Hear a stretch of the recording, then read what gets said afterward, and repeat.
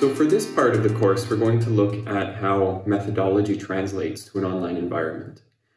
This involves two key aspects, trial and error. So in order to have student-centered methodology, you want them to try it first.